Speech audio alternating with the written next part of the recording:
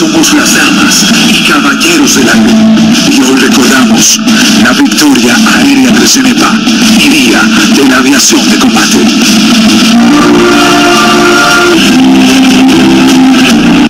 Se asienta la necesidad de contar con un régimen de defensa aérea que mantenga viva y ardiente la llama de esperanza, libertad, integridad y soberanía.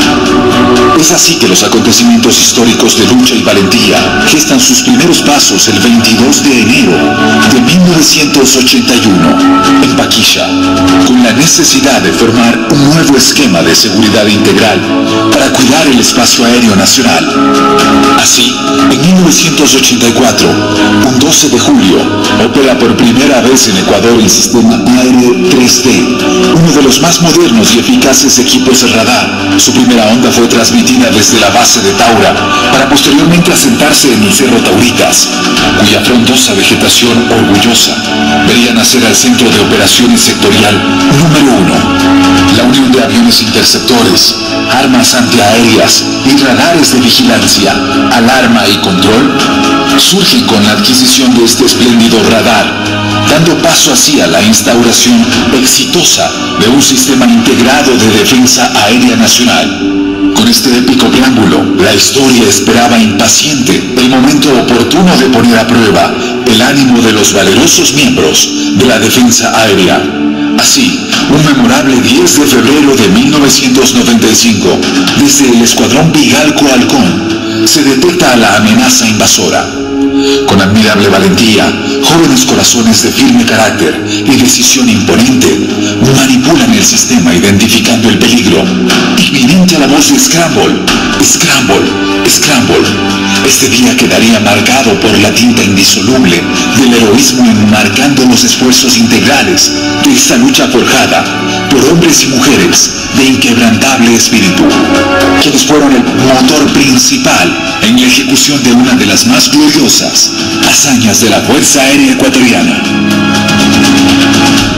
El mantener intacta la soberanía de nuestro espacio aéreo y amparar al Estado mediante el constante apoyo a su gestión motiva a que la Fuerza Aérea Ecuatoriana cumpla con operaciones militares de vigilancia y control del espacio aéreo nacional. Esto en conjunto con el accionar diario del soldado radarista han sido precedentes fundamentales para formar parte de los cimientos de un futuro de glorias digno del estirpe heredero del Pichincha, Paquilla y el Cenepa.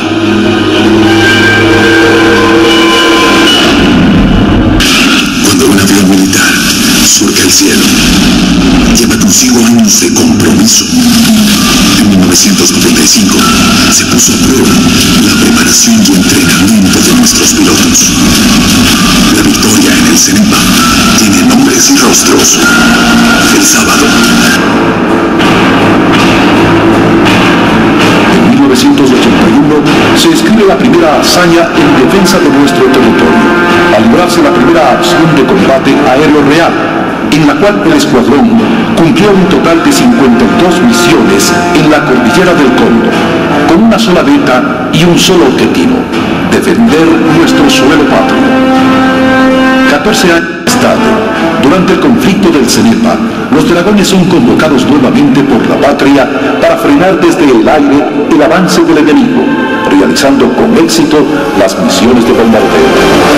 Con esta vocación de titanes, el 11 de febrero de 1995 sería nuevamente el coraje, alto profesionalismo y pericia de la tripulación del FAE 3 de la Declaratoria de Estado de Emergencia Nacional por el conflicto de la cordillera del Cóndor con el Perú. El escuadrón estuvo presto para ejecutar y cumplir las misiones asignadas en el área de empleo. este Ecuador amazónico, desde siempre y hasta siempre. ¡Viva la patria!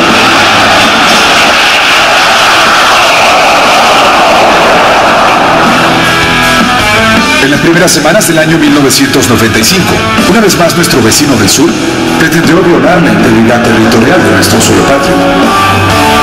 Bueno, seguimos cumpliendo una misión de apoyo aéreo a las tropas de superficie de nuestro ejército. 4 A-37B, artillados con bombas de propósito general, atacaron las cabeceras del Alto Cenepa. En esta ocasión, el número 2 fue alcanzado en el ala derecha por un misil enemigo. Un misil que yo no vi desde que salió. Se me perdió bajo el ala. Cuando salió, escribí una comba. Hubo una explosión.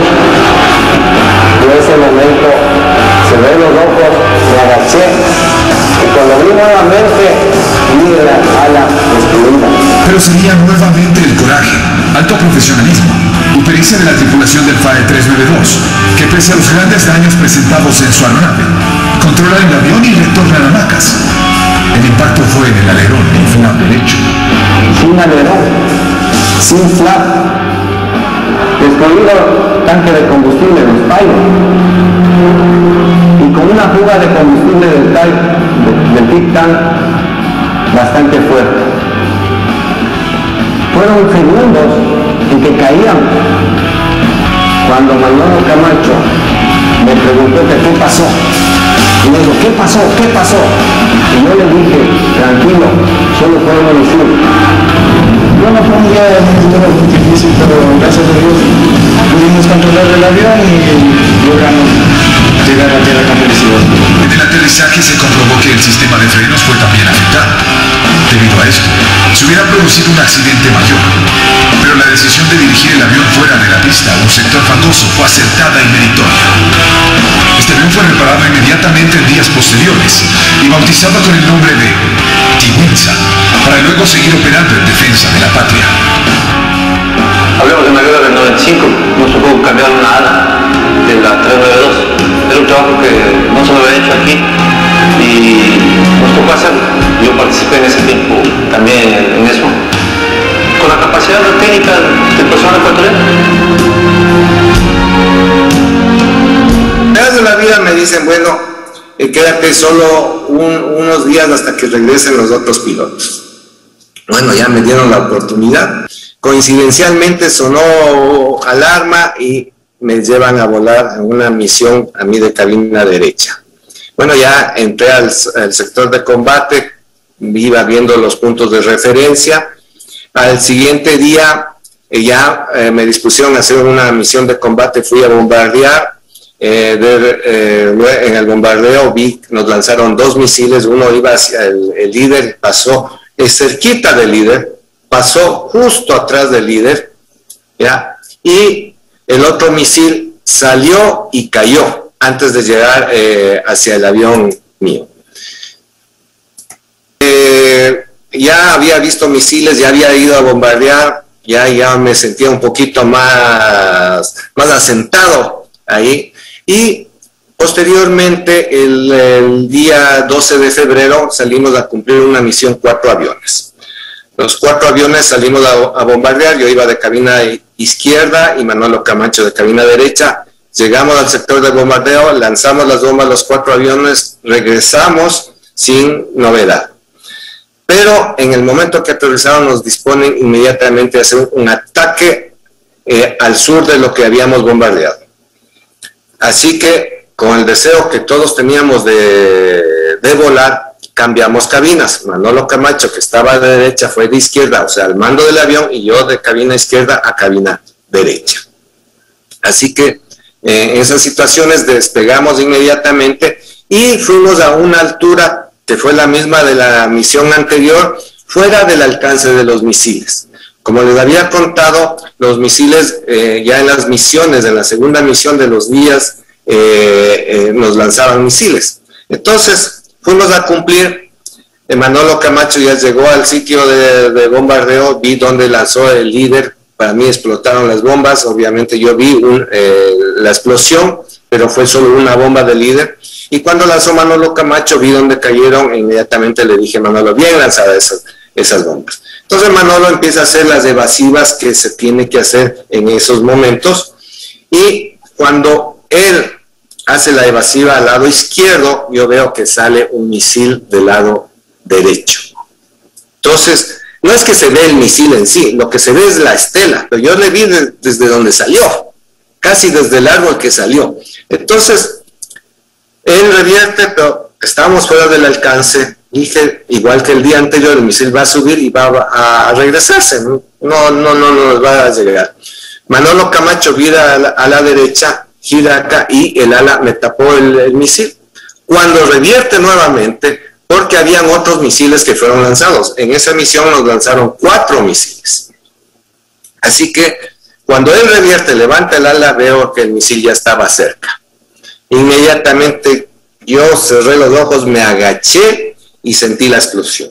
El sonido, la explosión, todo el avión en ese momento como que, que caía. Inmediatamente abrí los ojos, regreso a ver al lado derecho que fue donde impactó y le vi el ala hecho flecos. Claro, yo ya le vi sin alerón, sin flap, destruido esa, esa parte y todas las latas abiertas.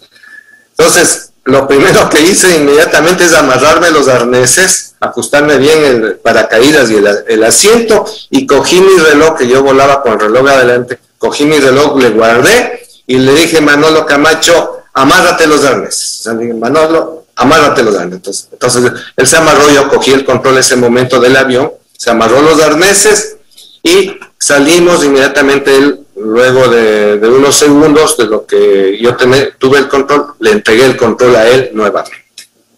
Bueno, esa fue la primera parte crítica del misil. Cuando ya salimos del sector teníamos que hacer un chequeo de controlabilidad y ahí se nos apagó el motor derecho. El motor estaba fundido, no, no se movía, estaba completamente fundido. Entonces, al hacer el chequeo de controlabilidad, teníamos que cortar la potencia para ver cómo reaccionaba el avión. Y en ese momento el avión viral, viral, viral, viral, viral, viral. Entonces yo le regreso a ver a Manolo y Manolo tenía todo el bastón a la derecha, como decirle toda la dirección a la derecha y el avión seguía yéndose a la izquierda. Eso realmente le veo toda la dirección a la derecha y el avión sigue virando a la izquierda. En ese momento yo le dije, dale potencia, y le di yo también potencia, porque el control también está al, lado mío, le di potencia y el avión empezó a nivelarse. Y ha nivelado, sabíamos que no podíamos ir a aterrizar en esa situación. Entonces el líder ya nos dijo, prepárense para la dirección, estaba todo listo. Y aquí viene eh, la tercera parte crítica, que el líder, eh, como había un banco de nubes, el líder para mantenerse eh, en condiciones visuales se clava, o sea, acelera y le, nos dice, síguenos. Entonces Manolo empezó a, clavarse y yo le paré. Le paré porque para mí era algo eh, aerodinámico, que el rato de cortar potencia metía el ala, el rato de acelerar iba a ser todo lo contrario. Entramos a nubes y nos damos cuenta que no teníamos los instrumentos, no teníamos nada. El horizonte artificial es al piloto es el que le da la posesión del avión. ¿ya? Entonces, no teníamos horizonte artificial, no teníamos giros, y en ese momento eh, le digo a Manolo, acuérdate de panel parcial. Yo había sido instructor justo de Manolo Camacho, instructor de vuelo solo para en la Escuela Militar de Aviación. Entonces, le dije, en Salinas. Y fuimos haciendo el procedimiento y se hizo perfecto, perfecto. Porque eso una haciendo el procedimiento y se hizo perfecto. Perfecto, porque esa es una situación posiblemente hasta la más crítica, porque ya le digo, no, no, no sé, eh, en nubes no puede darse cuenta si está el avión así, está invertido o está recto o está vertical. Son solo las percepciones. Si no tiene el horizonte artificial, no sabe cómo está el avión. Bueno, logramos salir a 12.500 pies y obviamente eh, nos dirigimos hacia el norte, hacia, hacia Macas por suerte hubo condiciones visuales, en cierto momento nos metimos ahí, se nos prendió ya todo el árbol de Navidad, las luces y no teníamos combustible. Para esto, un antecedente, días antes yo tuve un problema similar en Salinas, igualito, no tenía combustible, tenía solo combustible para dos minutos y estaba aproximadamente de cinco minutos de, Salinas, de la pista. Pero bueno, ya para mí era, ya me sucedió, estaba igualito, amarrado bien los arneses por si acaso la, la irse. En definitiva, Manolo decía, vamos a aterrizar, yo, yo le detenía, decía, no, baja más la velocidad para ver cómo, cómo estaba el avión estructuralmente. Y él, vamos a aterrizar, aguanta, aguanta. Entonces ya llegó un momento que sin combustible y nos teníamos que ir a aterrizar. Vamos a aterrizar perfecto. Y como no teníamos combustible y se podía apagar el motor, la pista de Macas está en medio de la ciudad. Entonces decidimos venir altos. ¿ya? Entonces el avión de la trayectoria normal, si la trayectoria era eh, aquí abajo, nosotros veníamos de aquí, bien altos, con el fin de que si se apagaba el motor, virábamos hacia el río Upano, salíamos de la zona de las casas y nos eyectábamos ya donde no a personas. Entonces, eso era, por eso veníamos altos.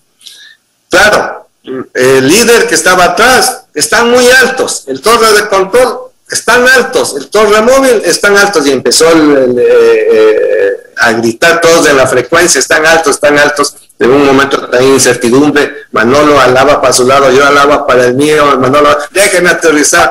Y bueno, llegó un momento que dije, ok, tú le aterrizas del avión. Eh, y llamé por radio y les dije, el avión está controlado, silencio de radios. Se callaron todos y fuimos a aterrizar prácticamente asegurada la pista, nosotros cortamos ya la, potencia, topamos ruedas y se aterrizó con la falla de, frenos. Eh, yo también estaba frenando ahí, iba al lado derecho, frenaba al lado izquierdo, se iba a salir de la pista el avión, soltaba el freno, de nuevo al lado derecho de la pista y así, hasta la toma de decisión, si frenamos al final de la pista o no. La decisión fue salirnos de la pista y darnos contra la loma. Por suerte había llovido el día anterior, había lodo y se frenó el, avión antes. De todo esto yo me iba adelantando siempre, a ver, si voy a bajar, va a bajar el tren de aterrizaje, se, bajará. Ok, empezó a bajar, ahora que se asegurará. Pensé hasta de que podía haberse reventado alguna rueda. Lo que sí, de todo, de todo lo que yo me iba adelantando mentalmente lo que podía suceder el rato que baje el tren, que tope las ruedas, no pensé de los frenos. Es lo único. Pero en todo lo demás yo me iba adelantando. Lo bueno es que se salvó un avión, una unidad militar y el, el, orgullo de la Fuerza Aérea y del Ecuador es que ningún avión ecuatoriano se perdió en combate. Y coronel, ahora que rememoramos, han pasado 26 años, ¿cuál es el sentir de esa vivencia con el paso del tiempo? Bueno, para mí orgulloso de haber podido participar, de haber dado nuestro granito de, arena. Ese pueblo ecuatoriano en Macas, todas las mañanas, 5 de la mañana, salía en procesión la gente apoyándonos. Eh, las misas, todo, estaban la gente apoyando a, a sus soldados que estamos defendiendo la patria. Mi coronel, yo quiero agradecerle por habernos brindado esta oportunidad que sin duda es enriquecedora para todos y cada uno de los que portamos este uniforme y para las personas que no, como compatriotas de igual manera. Saludarle de manera efusiva, agradecerle, han pasado 26 años, ahora estamos y vivimos en paz gracias a ustedes por todo su sacrificio. Mi coronel, muchas gracias. Febrero 1995, Ecuador y Perú se enfrentaban en el CENEP. El mayor Raúl Bandera se encuentra listo en este Mirage F1. A las 12.30 del 10 de febrero recibe la orden de cumplir una misión. Ya a 30.000 pies de altura intercepta el radar del avión a un bombardero peruano, pero aviones Mirage 2000 peruanos trataban de emboscar a la nave ecuatoriana. El mayor Banderas a la velocidad del sonido maniobra y se acerca al bombardero. Yo le identifiqué plenamente, disparé el misil. Disparé el primer misil, el misil impactó en el avión mi número dos le disparó al otro avión y los dos aviones continuaron volando pero echando una columna densa de humo negro. En este enfrentamiento con los aviones peruanos también estaba el capitán Ascasubi que piloteaba otro Mirage. El mayor Banderas hace una maniobra para atacar nuevamente al bombardero peruano. Así que decidí disparar un segundo misil. El segundo misil impactó en el avión y hizo la, la explosión como está así. Fue exactamente eso lo que hizo el segundo misil. El avión se paró en el aire, explosionó y comenzó a caer en Barreno. Recuerda que con su compañero Ascaso vivieron cómo los pilotos de los dos aviones derribados inyectaron el asiento. Lamentablemente los dos pilotos fallecieron en la selva por, por lo inmensa que es la selva y los árboles que hay. Una vez que retornamos, supimos que el Cafir también derribó, uno de los Cafires derribó un avión A-37 Fuerza Aérea Peruana. Total derribamos tres aviones y eso motivó a que se suspendan completamente los bombardeos que estaban realizando a, nuestro, a nuestra gente del ejército que estaba en tierra. En el mes de febrero de 1995 dice que la Fuerza Terrestre también tuvo éxito con los misiles tierra. Derribaron de 6 a 7 Desde el 10 de febrero indica, Perú dejó de bombardear suelo ecuatoriano. Esto contribuyó para que se firme una paz que hasta ahora, desde el 98 hasta ahora se mantiene y ojalá se siga manteniendo. Raúl Banderas es ahora general. Su sueño fue siempre ser piloto. Actualmente es el último héroe activo. Nelson Carrera 24. 27 de febrero, día del ejército de los ecuatorianos.